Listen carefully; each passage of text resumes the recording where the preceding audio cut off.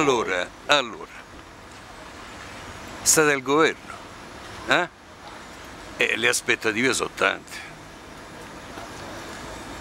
Ma guarda, se vuoi qualche cosa, qualche commento sul nazionale, io ti posso dire ben poco perché noi già diciamo, abitiamo in provincia. Beh, se sente... abbiamo- ci abbiamo Io leggo che ci sono un po' di disagio all'interno del movimento. Certo, ci abbiamo comunque i collegamenti con eh, i nostri sovracomunali e riferito al governo chiaramente è un sogno, nel senso che eh, sono anni, tu sai Angelo, noi siamo partiti con gli infopoint per strada, i banchetti insieme ai cittadini, penso che più in basso di noi non è mai partito nessuno e in realtà oggi avere il, il nostro Luigi Di Maio sia come ministro e vicepresidente del Consiglio è un orgoglio per tutti diciamo, quelli del Movimento 5 Stelle. Poi le chiacchiere se ne fanno tante, adesso l'ultima che gira in questi giorni che Salvini sta oscurando la figura. Ma sì, Salvini vabbè. semplicemente perché eh, sul discorso dell'immigrazione ha fatto questi annunci un po' più Sì, già l'aveva fatto però Minniti. l'aveva, quello- già fatti. Noi invece pensiamo che l'azione de- del nostro ministro di Luigi Di Maio, innanzitutto il fatto che ha unito i due ministeri, troviamo sia una cosa unica che porterà sicuramente dei, dei grossi vantaggi perché spesso i problemi fra ministro Eh, certo. del lavoro Certo.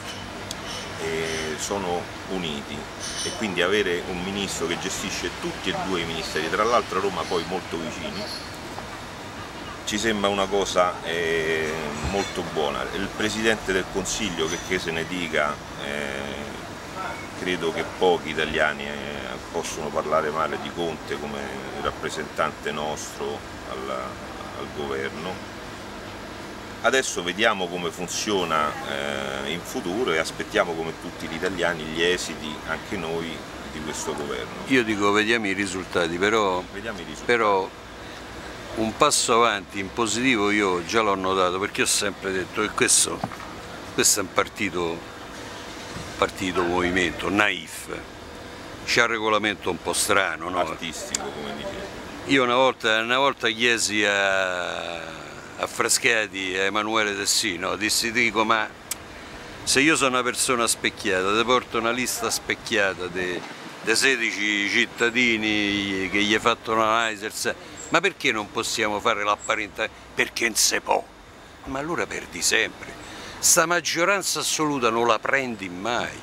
Ora, sto fatto che di fronte alla necessità avete messo le mani nella cacca e quindi avete detto vabbè eh, bisogna fare una coalizione, eh, mo chiamiamola co- eh, contratto, coalizione come te pare. Tu, ecco, Sì, il contratto eh, è già un passo avanti. l'unica Eh certo, eh certo. che comunque ha portato i suoi benefici, poi ci sono persone, ripeto, ognuno ha la sua idea politica, Eh. contrario o no, però comunque si è fatto un governo e alla fine non si può parlare male di questo contratto. In realtà sul territorio eh, comunale, I contratti sono tutti belli, eh. Eh, sono tutti belli, tutti quanti. Eh, oh, eh, ecco, ecco.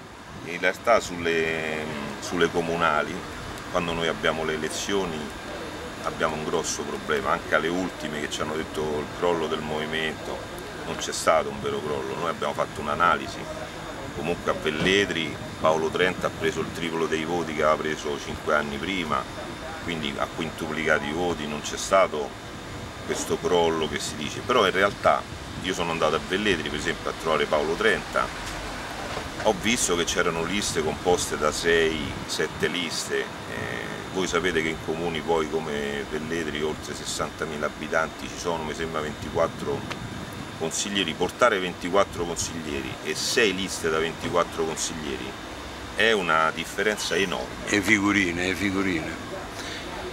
Però io sento che c'è un po' di ma- malessere, eppure ci dovrebbe essere una fronda eh, a Roma, in Senato o alla Camera, una cinquantina. E perché poi aspetta, eh, aspetta. Poi c'è l'altra parte, ci sono 15.000 euro puliti che ti metti tutti in tasca. Eh, eh, insomma potrebbe essere una chimera, una sirena che canta bene. L'impressione mia personale diciamo, sul movimento eh, nazionale è che c'è con il passare del tempo, perché adesso noi dal 2013 a oggi ci sono stati dei deputati e senatori riconfermati, altri nuovi che sono entrati, come il nostro caro amico Emanuele, che fa parte dei nuovi.